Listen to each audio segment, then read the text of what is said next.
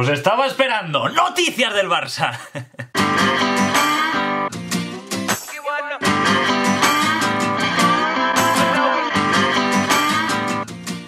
¿Qué tal amigos? ¿Cómo estáis? Bienvenidos a un nuevo vídeo.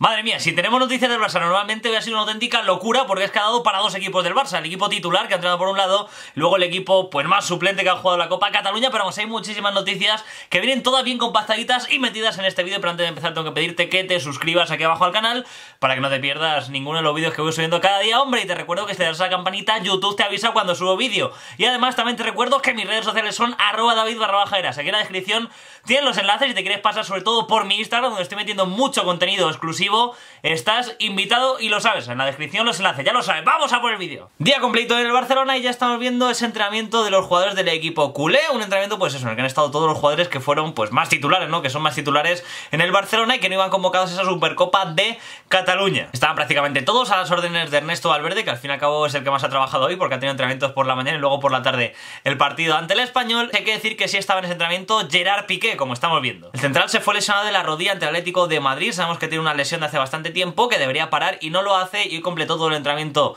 entero y por lo tanto pues Ernesto Valverde está bastante contento con la situación de Gerard Piqué, un jugador pues que no quiere forzar demasiado, no quiere tampoco romperse, está yendo muy muy al límite, pero al completar el entrenamiento pues sobre todo le ha dicho que tiene buenas sensaciones y que cree que va a estar disponible para los próximos partidos, así que de momento Gerard Piqué que sigue contando para Valverde sigue estando disponible porque hoy ha completado de nuevo todo el entrenamiento. Y por otro lado tenemos estas imágenes de Andrés Iniesta ya entrenando, buscando el milagro que tiene en mente. Quiere jugar ante el Chelsea, quiere jugar esa vuelta. Su lesión en el bíceps femoral de la pierna derecha está estimada que sea entre 3 y 4 semanas de baja. Lleva casi una semana y lo que quiere es estar pues para la semana que viene. Una auténtica locura, un auténtico milagro. Por supuesto, Andrés Iniesta conoce bien su cuerpo, no va a forzar y ha empezado ya a entrenarse, ha empezado ya a prepararse con esa recuperación, con un poco de trote, con ejercicios leves, pero Andrés Iniesta quiere estar en ese partido ante el Chelsea y va a hacer todo lo posible por conseguirlo. Eso ha sido en cuanto a los titulares, pero en cuanto a la Supercopa de Cataluña nos ha dejado muchas cosas. Por ejemplo, un en que ha estado perfecto hoy bajo palo. La verdad que el portero holandés está en un gran estado de forma, ha parado un disparo a Piatti, luego también una ocasión en la segunda parte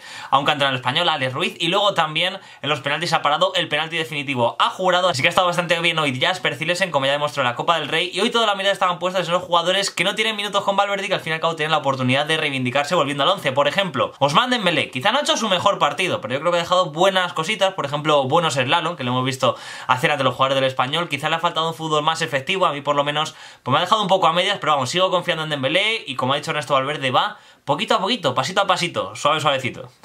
Bien, ha intentado entrar en juego, eh, ha intentado además, eh, bueno, algo en lo que él es fuerte, que es enfrentarse al rival en jugadas individuales, lo cual a nosotros nos viene muy bien. Poco a poco esperamos que todo eso se vaya traduciendo después en partidos de, de liga, que tenemos uno ya mismo el sábado. Así que nada, están esas palabras de Ernesto Valverde después del partido diciendo que bueno, que Osman Dembélé ha aportado cosas al Barcelona, por supuesto tiene que seguir aportando en partidos importantes como ese partido de liga, que jugará el sábado ante el Málaga a las 9 menos cuarto hora española, por cierto, decir que para ese partido se han agotado los billetes en la Rosaleda, no hay billetes para ver al Barcelona en Málaga, seguramente Osman Dembélé pueda estar en ese encuentro, y hay que comentar de Osman Dembélé que se está hablando mucho de sus hábitos alimenticios. Le dijimos aquí que desde el club ya han puesto un cocinero, pero parece que chocó bastante la personalidad de Dembélé con el cocinero hasta el punto de que tuvieron un episodio en el jardín de Dembélé con una parrilla, por lo menos es lo que me he podido enterar, que al final pues acabó la cosa bastante mal entre ambos y finalmente Osman Dembélé dijo al club que quería prescindir de ese cocinero. Ha contratado Osman Dembélé a otra cocinera y también ha contratado a un osteópata que le siga un poquito el tema de los huesos para evitar futuras lesiones. Así que Osman Dembélé con esos hábitos de vida que se decía que tenía mucha tendencia a comer fast food,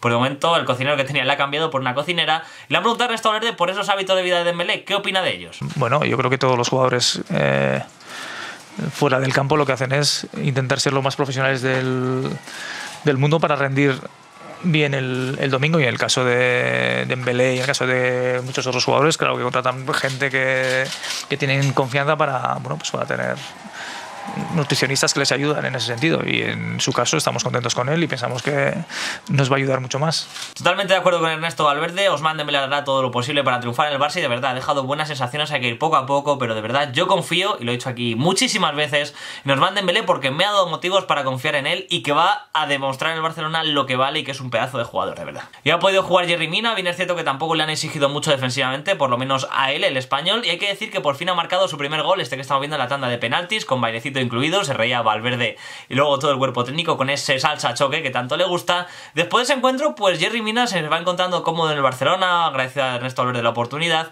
y le ha hecho la pregunta, pues que no quería que le hicieran, que era que esa de ese rumor que se está hablando para el próximo verano de que se marche cedido. ¿Se marchará cedido Jerry Mina el próximo verano? ¿Quiere marcharse él? Esto ha contestado. No, no sé cómo, cómo será, ¿no? Pero ahora estoy aquí, estoy haciendo lo, lo que lo que me pide el profe y, y paso a paso ahí voy, voy adaptándome, paso a paso voy, voy ganando mi No quiere irse Jerry Mina hacia el Barcelona, por lo menos de momento quiere seguir aprendiendo, es lógico, lleva aquí dos meses, poco más.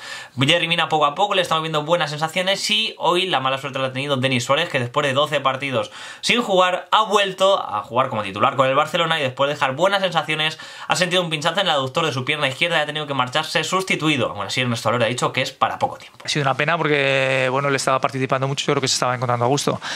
Pensa, bueno, es un, parece ser que es un pinchazo en, en el aductor.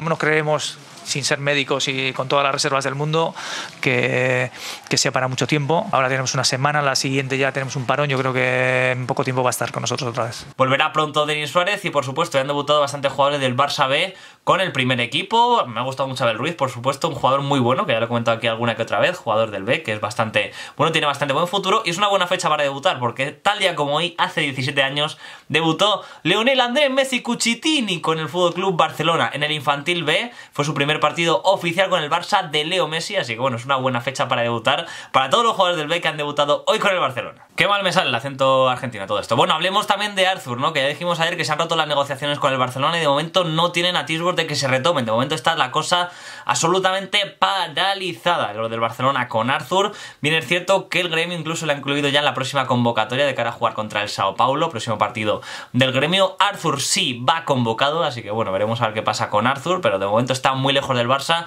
Esas negociaciones con el equipo culé no se han retomado y veremos a ver qué pasa en los próximos días. Y cerramos dedicando un ratito a las mujeres, ya que hoy la selección española femenina ha conseguido ganar la Cyprus Woman Cup, que es una competición que disputaba esta semana. Y hay que decir que en ese equipo pues había tres jugadores del Barça en el equipo titular, como es el caso de Patrick Guijarro, de Alexia Putellas y de Olga García. De hecho, Patrick ha marcado uno de los goles, ha ganado España 0-2 en la final a Italia. Las tres jugadoras del Barcelona, protagonistas hoy. La verdad que bueno, es bonito dedicarle unos minutos al fútbol femenino, porque es que al fin y al cabo yo creo que se lo merecen las chicas. Y más un día como hoy, Que es el Día de la Mujer. Así que nada, enhorabuena chicas por esa victoria tan importante y a seguir creciendo con el fútbol femenino. Y nada, dicho lo cual, pues te quiero preguntar a ti, muchas noticias del Barcelona, por supuesto, mucho de comentar, yo creo, ¿no? Pues te espero aquí abajo en los comentarios, ¿no? Para, para que teclemos ahí un poquito. ¿Qué, ¿Qué, más te iba a decir? Ah, que sí, que dale me gusta si te ha gustado, suscríbete para que no te pierdas ninguno de los vídeos que voy subiendo cada día. Te recuerdo, arroba David barra bajaras.